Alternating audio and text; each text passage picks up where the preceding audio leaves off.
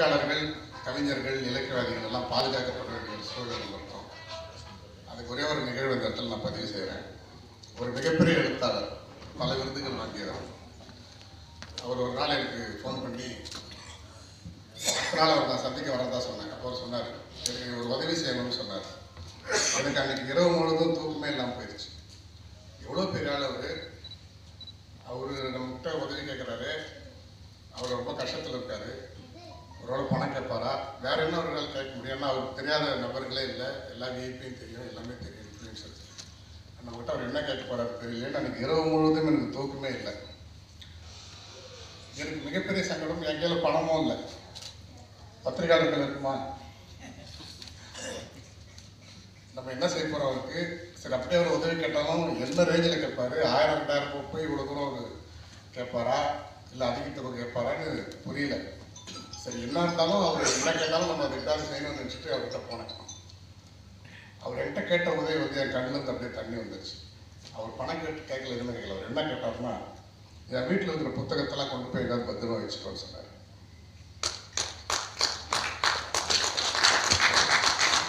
என்னையே என் வீட்டில் வச்சுட்டு இருக்கிறதுக்கு சங்கடப்படுறாங்க.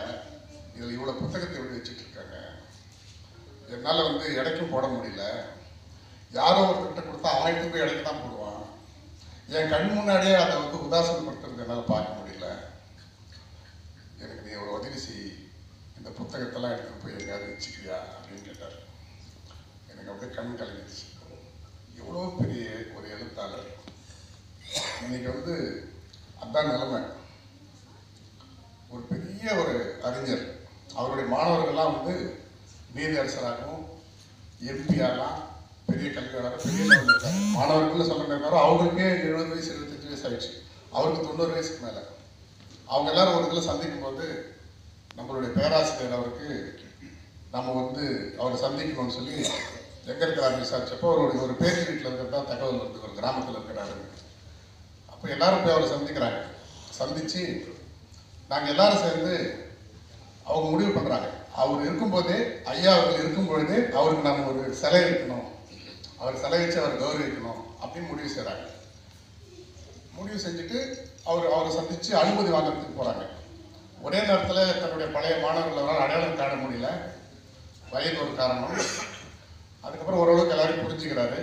புரிஞ்சுக்கிட்டதுக்கப்புறம் நெருக்கமாக இருக்கக்கூடிய ஒரு மா ஒரு மாணவரை கூப்பிட்டு தனியாக கூப்பிட்டு கேட்குறாரு என்ன விஷயம்? ஒரே நேரத்தில் இவ்வளோ பேர் வந்துட்டீங்களே என்ன விஷயம்? அப்படின்றாரு அப்போ அவர் சொல்கிறாரு இந்த மாதிரி நாங்கள்லாம் உங்களுக்கு செலவைக்கலாம்னு முடிவு பண்ணியிருக்கிறோம். நீங்கள் இருக்கும்பொழுதே அந்த உங்களுக்கு செலவழித்து நாங்கள் கௌரவிக்கணும்னு நினைக்கிறோம் அதுக்கு நீங்கள் எங்களுக்கு ஒரு அனுமதி மட்டும் தரணும். அதுக்கு தான் வந்திருக்கோம் அப்படின்னு சொன்னாங்க. உடனே அவர் என்ன பண்ணார்? கொஞ்சம் யோசிச்சுட்டு இதுக்கு எவ்வளோ பட்ஜெட் வச்சுருக்கீங்கன்னு கேட்டார். அவங்க சொன்னாங்க நாங்கள் பதினஞ்சு லட்ச ரூபாயிலேருந்து இருபது லட்ச ரூபாய் வரைக்கும் நாங்கள் பிளான் பண்ணியிருக்கோம். அதில் முன்ன எவ்வளோ வந்தாலும் நாங்கள் பண்ணிடலாம் இருக்கோம். அப்படின்னாங்க. கொஞ்ச நேரம் அப்படியே யோசனை பண்ணிட்டு அந்த பையனை கூப்பிட்டு அந்த மாணவர் கூப்பிட்டு அவர் கேட்டார். ஒரு பத்து லட்ச ரூபாயில முடிச்சு கொடுத்தா உங்களுக்கு சந்தோஷமா அப்படின்னு கேட்டார். இவருக்கு ஒன்றும் புரியல. நீ கொஞ்சம் எல்லாரும் கேட்டு சொல்லியிருந்தாரு. உடனே எல்லாருமே இந்த அந்த டிஸ்கஷன் பண்ணிட்டேன் என்னன்னாங்க? இல்லை ஐயா வந்து பத்து லட்ச ரூபாயில் முடிச்சா பரவாயில்லைன்னு கேட்குறாரு ஒரு நாள் அவருக்கு தெரிஞ்சவங்க யாராவது செலவு செய்கிறாங்களா என்ன ரெஃபர் பண்ணுறாருன்னு தெரியல. இவங்களுக்கு முதல்ல இல்லையா பட்ஜெட் பற்றி பிரச்சனை இல்லை. அது எவ்வளோ நாள் நாங்கள் பண்ணுறோம் இல்லை இல்லை உங்களுக்கு பத்து லட்ச ரூபாயில நான் முடிச்சு தரேன். அப்படின்னாரு. சரி எப்படின்னு சொல்லுங்க பத்து லட்ச ரூபாய் என் கையில் கொடுத்துருங்க. நான் என் வீட்டில் கொடுத்துட்றேன் நானே வந்து சரியாக இருக்கிறேன்னு சொன்னாங்க. நான் வீட்டில் அப்படி தான் இருக்கேன். நான் ஆல்ரெடி இப்போ சரியாக தான் வாழ்ந்துட்டு இருக்கேன். அப்படின்னு சொல்கிறாரு இன்னைக்கு வந்து உண்மையான பத்திரிகையாளர்களாகட்டும் உண்மையான எழுத்தாளர்களாகட்டும் மிகப்பெரிய கவிஞர்களாகட்டும் பாதுகாப்பு இல்லாத ஒரு நிலையில் தான் இருக்காங்க. ஆயிரம் ரூபாய் கொடுத்து டிடிஹெச்சில் படம் பார்க்கறதுக்கு தயாராக இருக்கிற நம்ம ஒரு நூறு ரூபாய் கொடுத்து புக் வாங்கி படிக்கிறதுக்கு தயாராக இல்லை. ஒரு புத்தகத்தை வந்து ஒருத்தருக்கு கொடுக்கும்போது அதை பணம் கொடுத்து வாங்கணும்னு சொன்னால் அதுக்கு பணத்தை கேட்டாலோ இல்லை பணம் கொடுத்து வாங்கணும்னு சூழல் வந்தாலோ அதை கௌரவ குறைச்சலாக நினைக்கக்கூடிய ஒரு சூழல் இருக்கு. நான் எவ்வளோ பெரிய ஆளு? நான் வந்து பணம் கொடுத்து புக்கு வாங்கி படிக்கணுமா? இன்னும் அவ்வளோ கேவலமாக நினச்சிட்டேன் நினைக்கக்கூடிய ஒரு பக்குவம் வந்து இன்னைக்கு வந்து வந்திருக்கு. அப்படி ஒரு மனநிலை வந்து இன்னைக்கு வந்து எழுத்துக்கு மரியாதை இல்லை எழுத்தாளர்களுக்கு மரியாதை இல்லை. இதுதான் முக்கியமான பதிவு. இன்னைக்கு எவ்வளோ விஷுவல் சொல்கிறோம் எல்லாம் சொல்கிறோம் எழுத்துக்கு இருக்கிற வலிமை விஷுவலுக்கு கிடையாது. கடலான மக்கள் திரண்டனர்னு சொல்றோம். அது நீங்க விஷுவல்ல நீங்க என்ன காட்டுங்களோ அதுதான். அதுக்கு மேலே இமேஜினேஷன் கிடையாது. அதுதான் லிமிட்டு ஆனா இதை நீங்க எழுத்துக்கள் நீங்க படிச்சீங்கன்னா அதுக்கு உங்களுடைய இமேஜினேஷன் தான். அவளோட அழகை கண்டு பெண்களே திரும்பி அவளை பார்ப்பாங்க அப்படின்னு சொல்லி சொல்லிட்டீங்கன்னா அவங்க இமேஜினேஷன் அவள் எவ்வளவு அழகுன்னு சொல்லிடலாம். ஆனா நீங்க அதை ஒருத்தரை வந்து காட்சிப்படுத்தணும்னு சொல்லிட்டு நீங்க அதை எவ்வளவு பெரிய ஆர்டிஸ்ட் கூப்பிட்டு காமிச்சாலும் அதுதான் லிமிட்டேஷன் ஸோ எழுத்துக்கு மட்டும் லிமிட்டேஷனே கிடையாது. எழுத்துக்கு ஆல்டர்னேட்டிவ்ங்கிறது உலகத்தில் எது எந்த விஷயத்துக்கு எந்த பவருமே கிடையாது. அந்த எழுத்தை வந்து நாம் வந்து பாதுகாக்கணும்.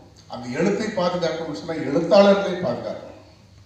எழுத்தாளர்களை பாதுகாக்காத ஒரு சமூகம் சிறந்த சமூகமா அமையாது. உச்ச நீதிமன்ற ஐயா நீதரசர் இருக்காங்க.